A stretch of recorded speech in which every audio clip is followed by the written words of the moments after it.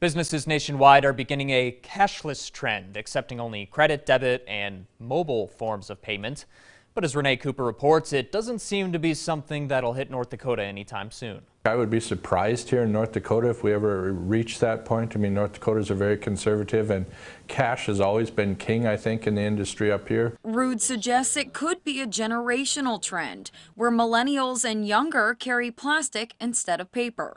I asked locals out and about if they carry cash these days. Maybe just for emergencies in case there's some place that does not have, uh, you know, a credit card machine. Just very little. I usually use a credit card most of the time. We usually don't because nowadays, like in every store, they pretty much have all the you know, system to for us to just pay with debit or credit card. The shift in payment methods suits the one in four Americans who say they don't carry paper money.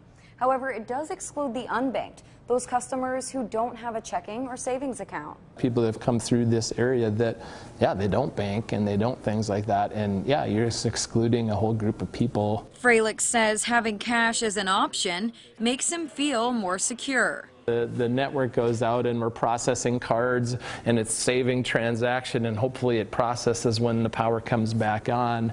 With cash, you know you have a transaction and you can turn the key on the cash register to open and close it if you need to. Small business owner Carrie Black says she always appreciates when customers pay with cash or even checks.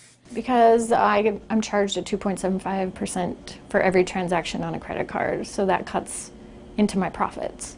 So using cash and checks is just, there's no fees. She says she would not consider going cashless, even in a plastic world. Some people are always going to have cash. You know, you don't spend money that you don't have. So, and I think, you know, that's why cash is so critical yet, I think, to, the, to people in North Dakota. Renee Cooper, KX News.